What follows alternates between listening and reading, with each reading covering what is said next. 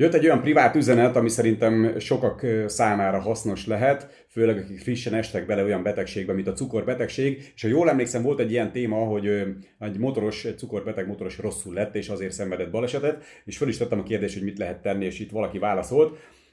Azt mondja, Hali, kezdem az elejétől, 2003-ban volt egy autó balesetem, részletek, stb.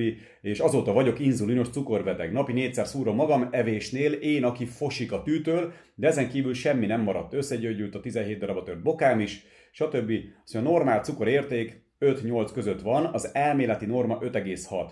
Mikor kiderült a cukorbetegségem, nálam 23,8 volt az érték, de inzulin nélkül bőven 35 fölé ugorhat. Az utólag beadott inzulin húzza le a kajálással emelkedett vércukor értéket. A mozgás segíthet lentebb tartani, mert az érték csökkenhet. Én mindig inkább mozgok a motoron, mint hogy határon menjek. Ha leesik a vércukor szint, oxigén hiányba kerül az agy, és nem érez sebességet, féket, semmit, kb. mint egy részeg ember úgy viselkedik, pedig csak beteg. Motorozás előtt mindig megmérem a cukorszintemet, és minden inzulinos cukorbeteg tegye ezt, mert én a motorra ülés előtt tízes cukor alatt inkább eszek még valamit, az volt kész a motor, stb. stb. Na hát köszönjük szépen az információt, én ezt sokat nem tudok hozzátenni, mert közelemben nincsen ilyen betegséggel szenvedő ember, de hogyha valakinek ilyen problémája van, akkor nyilván egy teljesen jó tanács, hogy motorozás előtt mérje meg a vércukrát, és tegye meg azokat a szükséges lépéseket, hogy nem motorozás közben emelkedjen meg, és legyen ebből probléma. Köszi az infót még egyszer!